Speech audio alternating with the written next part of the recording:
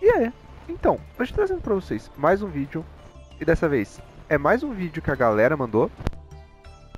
Que é o Gladiator Beast. Dessa vez meus agradecimentos vão por Brian. De novo tá mandando um deckzinho aqui pra gente. Mas antes, se você gostar do vídeo, deixa o like, se inscreva. Cola no Discord que tem na descrição.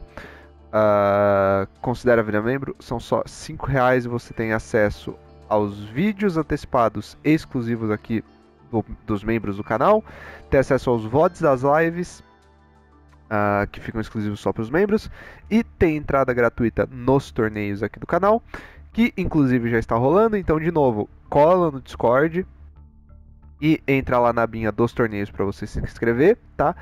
E é muito importante lembrar, tá? Vale destacar, vou deixar registrado todo o vídeo, que não é apenas mandar o comprovante lá, né? Que tem uma abinha lá para você mandar um comprovante, seja por ser membro, seja por pagar, que você já tá no torneio, tá?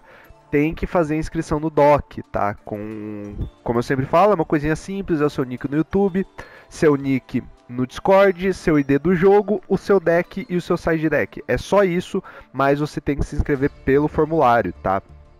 Então, passa lá no Discord, dá uma lidinha nas regras que tem tudo explicadinho lá, tá? Os membros têm entrada gratuita e os não membros é uma taxinha de 7 reais, tá bom? Queria agradecer aqui aos membros dos últimos dias, que como os vídeos já estavam gravados eu acabei não agradecendo, que é o Natsu, o Aelzinho e o Rosenildo. Obrigado pelo membro, rapaziada, tamo junto. Obrigado por apoiar aqui o canal e confiar no trampo. Então, bora começar o vídeo. Como eu disse, é um Gladiator Beast e o bom de trazer esse deck nesse momento é que esse deck foi anunciado suporte não tem muitos dias. Acho que tem por, por pouco mais de uma semana que foi é, anunciado suporte desse deck. E é bom, porque ano que vem chega esses suportes pro Master Duel. E vocês já devem ficar mais ou menos antenado como é que esse deck funciona, né? Então, bora começar, tá? É, qual que é a gimmick do Gimmick Puppet? Do Gimmick Puppet, não, perdão, do Gladiator Beast. Tô com Gimmick Puppet na cabeça, tá? Se sair é sem querer. Mas qual que é a gimmick do Gladiator Beast? A gimmick do, a gimmick do, do Gladiator Beast é você fazer fusões de contato, né? Todas as fusões do Extra Deck elas vão ser fusões de contato, né? E uh, com isso você vai trigar os efeitos dessas fusões de contato, né? Além de que o ele vai ter uma outra gimmick que essa aqui tá um pouquinho ultrapassada, tá? Inclusive eles tentaram manter essa linha de esse tipo de, de interação nas cartas novas que saíram, que é depois da fase de batalha, é no final da fase de batalha, se o monstro o monstro Gladiator Beast batalhou, ele vai trigar um X efeito, né? E aí pode ser, ele vai entregar um X efeito de voltar pro deck e invocar outro deles, outro Gladiator Beast. E esse Gladiator Beast que entrar, ele vai entregar um efeito, né? Então, vamos supor aqui, o cavalo batalhou, ele vai voltar pro, pro deck, né? Ele vai batalhou, no final da gente fez, ele vai voltar pro deck, vai invocar outro dele, e esse outro, outro, outro Gladiator Beast, perdão, não outro Darius, né? Ele vai invocar outro Gladiator Beast e esse Gladiator Beast vai entregar efeito, tá? A exceção dos Gladiator Beasts que não vão fazer isso é o Tigre de Laboratório, que ele faz isso daqui na main phase, né? Porque ele vai ter o efeito de se tributar.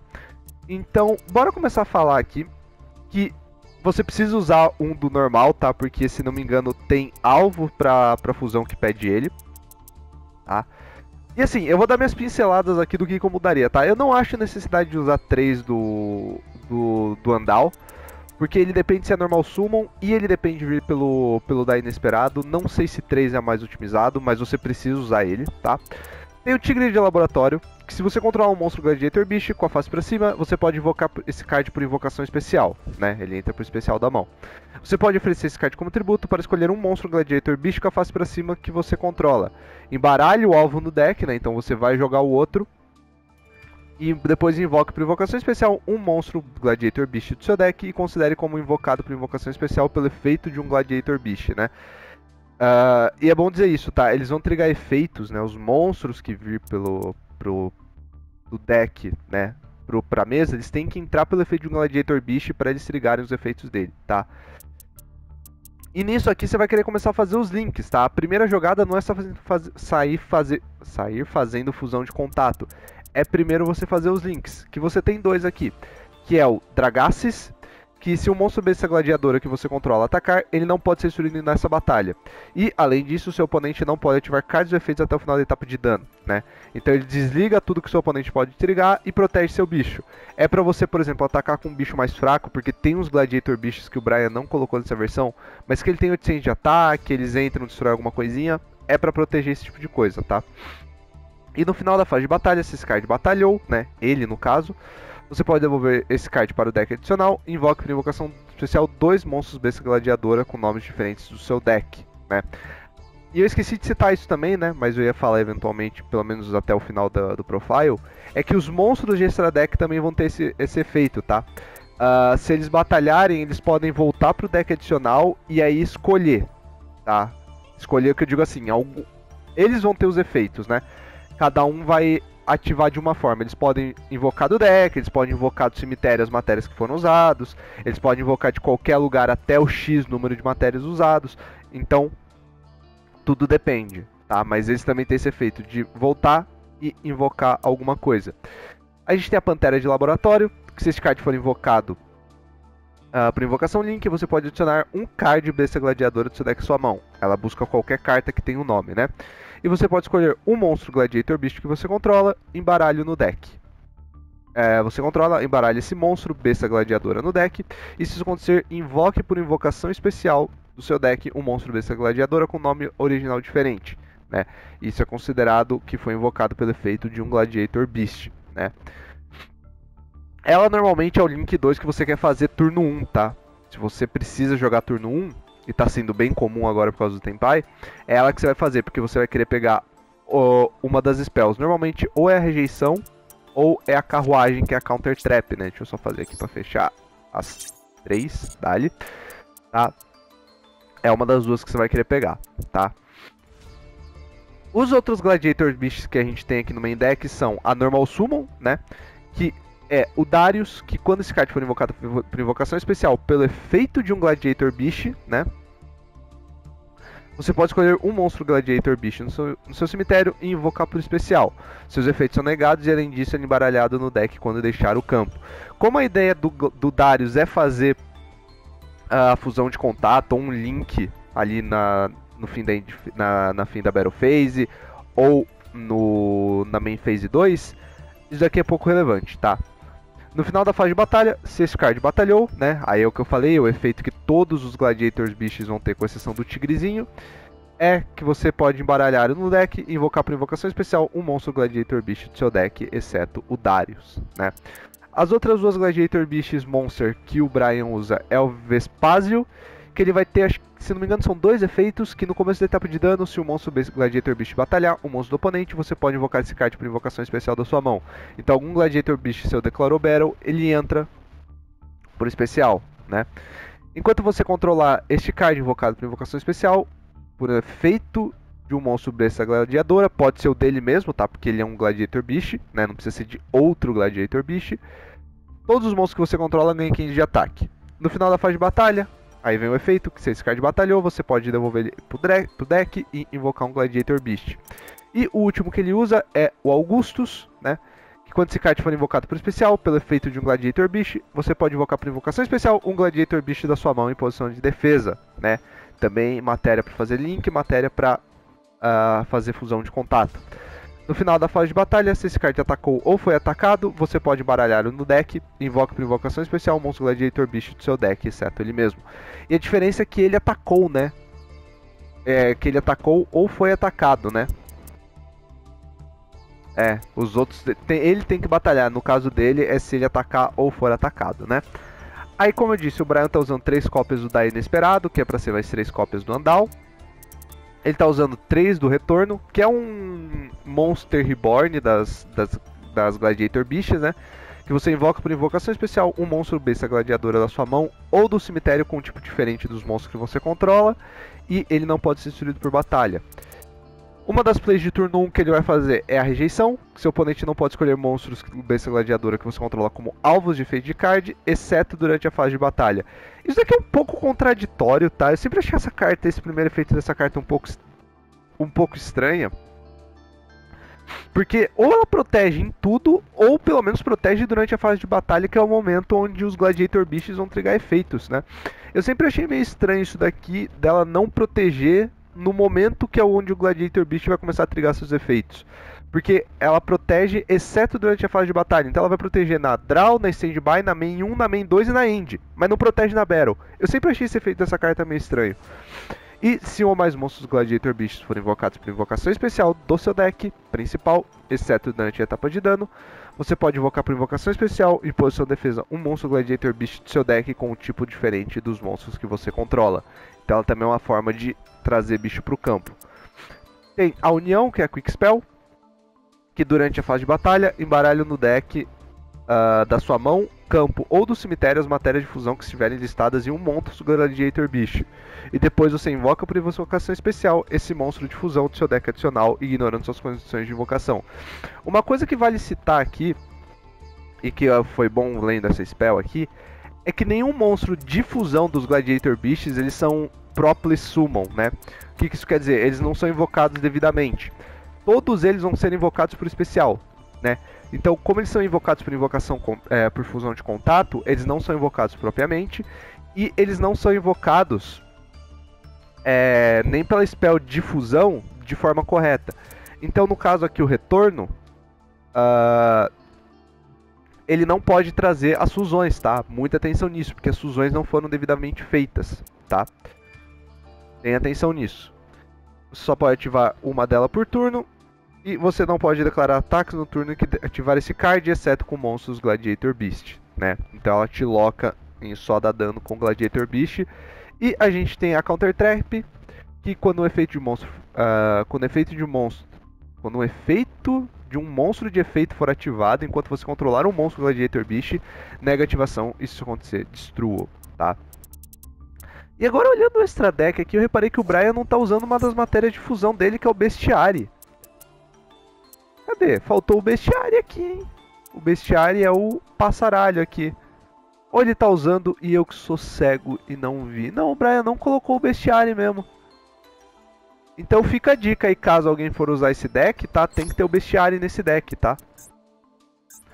Porque o, o Guiazarus aqui ele pede o bestiário como fusão, como matéria de fusão. Agora que eu vi. Agora que eu vi. Vamos lá, ele tá usando o Excedril, que ele pede só dois monstros bestas gladiadoras, né?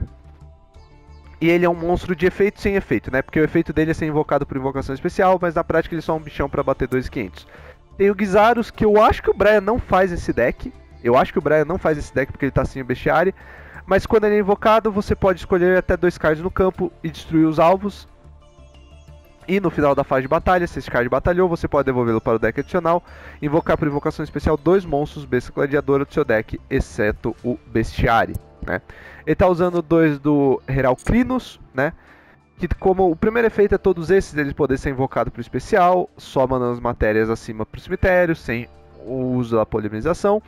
E quando um card de magia armadilha for ativado, efeito rápido, você pode descartar um card, negar ativação isso acontecer destrual, né? E, o, e essa carta tem que estar com a face para cima no campo para resolver. Isso daqui é umas, eram umas condições antigas que as cartas tinham, de por exemplo, Uh, você dá isso daqui e tomar, sei lá, um Karma Cut. O, a carta ia resolver fora do campo então ela não resolvia. É uma forma de balance... uma forma antiga de balancear as cartas, tá?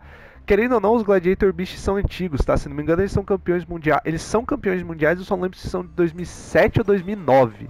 Eu não lembro de qual é o ano. Mas pra você ter noção de como essas cartas são antigas, né? Então era uma forma de balancear na época. Tem o Neróquios, que ele não pode ser destruído em batalha, e se este card atacar ou for atacado, seu oponente não pode ativar cards ou efeitos até o final da etapa de dano, né? E no final da fase de batalha, você volta ele pro extra deck e invoca por invocação especial dois outros Gladiators Beasts do seu deck. Tem o Domador Editor, né? Que uma vez por turno você pode invocar por invocação especial um monstro de fusão, Gladiator Beast do seu deck adicional, exceto ele mesmo, ignorando suas condições de invocação. Tá, deve ser por ele então que o Brian traz o Gizarus. Ok. Aí, lendo uma carta que eu não conhecia, eu descobri. Provavelmente deve ser assim. Deve ter alguma linha de play aqui que ele vai fazer o domador, vai dar o efeito para trazer o Guisarius e popar duas. E no final da fase de batalha, ele se embaralha e invoca um Gladiator Beast do deck. A última fusão que a gente tem aqui é o Dominiciano, que uma vez por turno, quando seu oponente tiver um efeito de monstro, efeito rápido, você pode negar a ativação e se acontecer, destrua. E aqui você não precisa descartar e ele não precisa atacar a face para cima no campo para resolver, tá?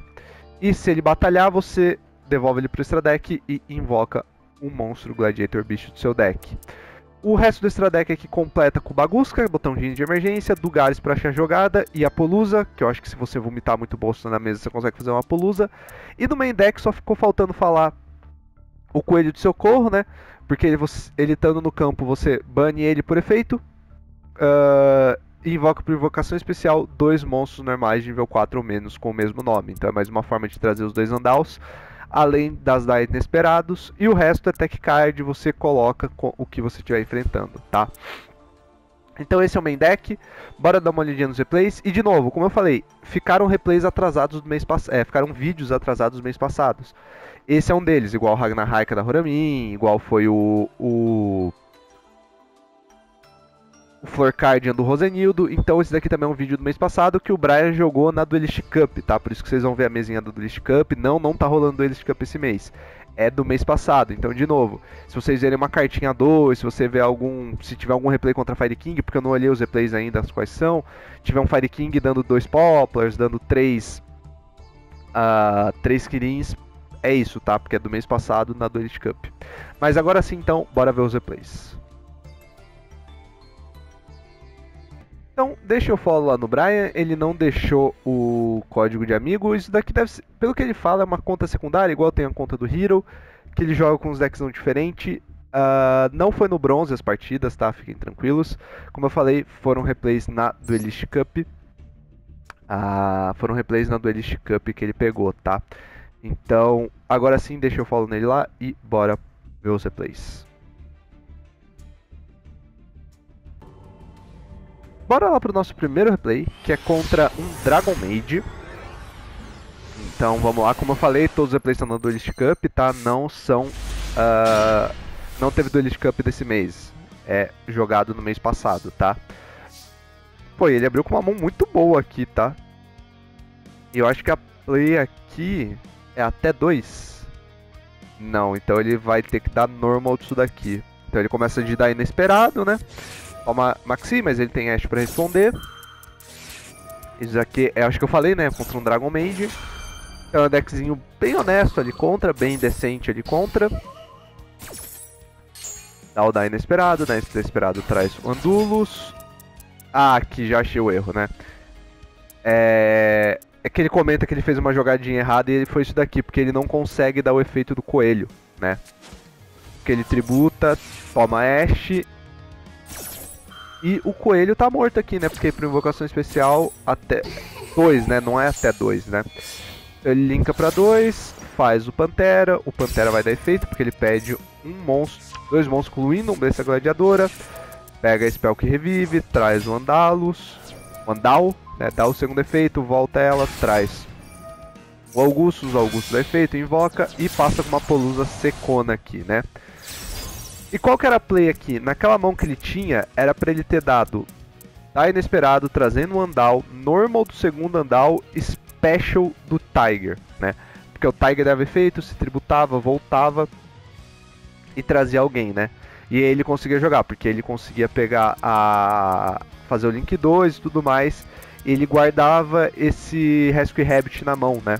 Porque agora, que é o caso, por exemplo, ele teria os dois. os dois os dois Andals para trazer do, de dentro do deck Vice, Rescue Rabbit, tá?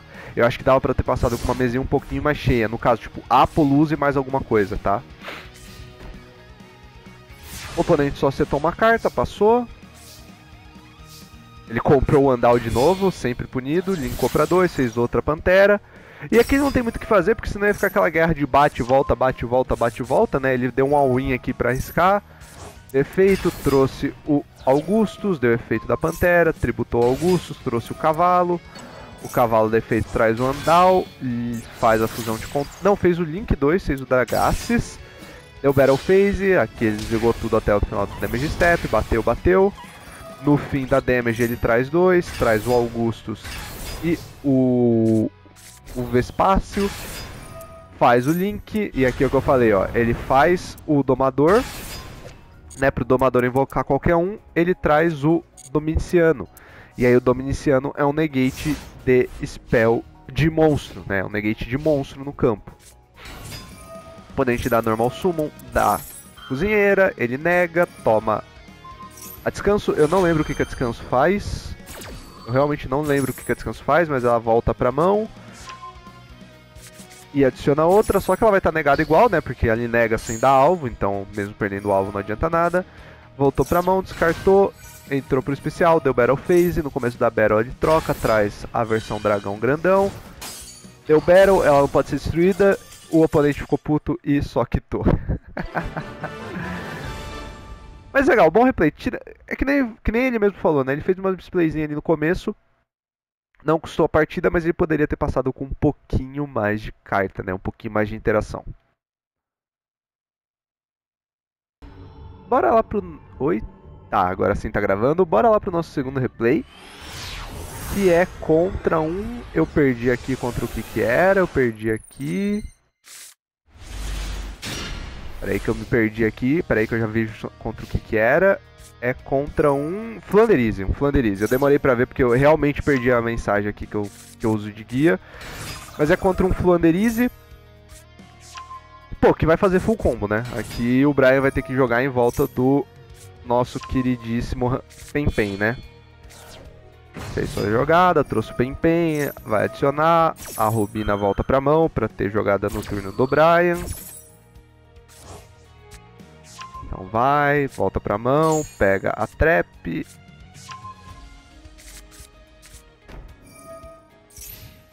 E passou com o campo ainda, tá? Por que ele não deu efeito do campo, invocou, pegou alguém, enfim, né? Brian comprou a rejeição, ele vai ter que dar essa rejeição, vai dar um die inesperado. Trouxe o Andal, que vai invocar o Vespácio. O oponente aqui vai começar a dar os efeitos, dar a Robina. Vamos, vamos adiantar aqui, né? Robina pega o Igan, o Igan entra, traz o Apex, o Apex vem de negate, ok, né? Aí ele vai buscar todo mundo, além da Tordina voltar pra mão, né? Só que isso aqui só protege de alvo, não protege de efeito, né? Então ele vai ser bucado. Buca Buca, dá a outra rejeição, ele dá um Apex negando. E eu acho que o Brian fez isso aqui proposital pra, pra baitar. Né? Fez proposital pra retorno passar, invoca o Augustus, faz a fusão de contato, né? Porque não depende, fusão de contato não depende de ter o bicho face up. E aqui tá respondido mesmo que eu falei no profile, ele usa o domador para trazer o Gizarus. O Gizarus entra, vai mesmo em posição de defesa destruir as duas cartas, né? Vai destruir o campo e o Pen ele linka para dois, faz a Pantera, a Pantera vai dar efeito, vai tomar um Imperm, que caralho, por que, que o cara não setou esse Imperm, maluco da cabeça? Pantera toma esse Imperm, o Brian dá 800 de dano e passa, né? É. Setou a Khaled antes da Battle, porque não temos medo de Venemet nessa, nessa partida. Só que aqui o Brian sabe o que, que o oponente tem na mão, né? Porque ele sabe da. Ele sabe. Esse cara não tá revivendo esse, esse Iglin aqui? Mas enfim. Ele sabe da Robina e do Apex, né? Porque o maluco aqui não tá revivendo essa. Esse Iglin nem a pau, né? Agora ele lembrou que o Iglin existe.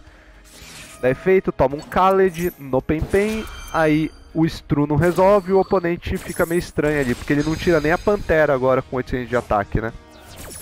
Ele não vai tirar nem a Pantera com 800 de ataque. Seta mais uma, passa esse set desconhecido, porque o Brian não viu ele buscando. Dá o efeito da Pantera, volta para dentro do deck, traz o Augustus. A spell dá efeito, volta para dentro do deck, traz o Domador, Domador vai dar efeito. Vai trazer o nega Spray Trap, linka para 2, faz outra Pantera, para Pantera dar o primeiro efeito de novo. Adiciona a retorno e o oponente quita porque aqui ele tomava o TK. Ok.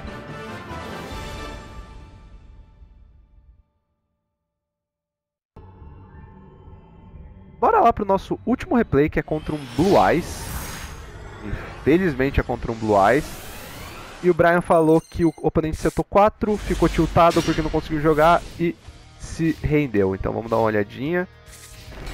Ah, literalmente ele setou 4, incluindo um monstro, né? Incluindo um monstrinho. Ele começa dando as duas rejeições da normal, esse peito special do, do tigre. Entra o. Peraí, peraí, peraí. Ele deu special do tigre, tomou um anel no tigre. Só que ele tinha o Vespácio. Bateu, era uma pedra, ok. Por que o oponente que tô tendo um Blue Eyes? O efeito do Vespácio, traz o Augustus. Efeito, traz o outro Vespácio. Ah, ele vai tomar o. Ele vai tomar o negate de monstro. Tá, ele vai tomar o Dominiciano, toma o negate de monstro, não vai conseguir fazer o. Não vai conseguir trazer o Blue Eyes, vai tiltar e só vai quitar, né? Porque ele revolta o Gladiator Beast, dá efeito, traz o Kinect Spy Trap, dá efeito da Pantera, volta, traz o Cavalo, Cavalo traz o Andal, linka pra 4 caralho, fez um, um, um fez o Dugares, descartou, comprou, descarta a outra rejeição, aquele toma o negate do Dominiciano e provavelmente o oponente que tô aqui, né? Provavelmente o oponente que tá aqui. Não, ele tentou jogar? Deu o normal da menina e... Ah, ok, ele quitou aqui. Mas esse replay foi legal, tá? Essa sequência aqui na main 2 foi bem legal. Então é isso, espero que vocês tenham gostado. Se vocês gostaram, deixa o like, se inscreva, cola no Discord que tem na descrição, considere virar membro. Não esquece de participar do torneio aqui do canal, da Crawl Rage Cup, né, da nossa queridíssima Crawl, é, da nossa queridíssima KR Cup. Então é isso, espero que vocês tenham gostado. Como eu disse, é um deckzão que vai receber suporte no futuro, tá? Se não me engano, sai agora no fim do ano. Não, sai agora em Suda, né? Sai agora em no final do mês aqui de outubro lá no Japão. Deve estar tá chegando no Master Duel daqui uns 6, 7 meses, tá? Então ali pro meio do ano que vem deve estar chegando. Muda o patamar do deck? Não muda. Melhora o deck, mas não muda. Mas é um deckzinho divertido que dá para jogar sendo um pouquinho mais barato, dá para tirar algumas URs aqui, e eu acho que a maioria das cartas aqui é tudo de Legacy Pack, então você deve ter a maioria das cartas, tá? Vai de gosto, eu acho que é mais um deckzão para brincar, quem sabe no ano que vem, com suportes novos, né, em jogo, não só lendo, as cartas mudam exatamente muito o patamar do deck e ele fica extremamente bom, tá? Mas fica aí, é bom ter esse vídeo no canal para preparar já pro ano que vem, tá bom? Então é isso, meus queridos. Valeu, aquele abraço e até a próxima.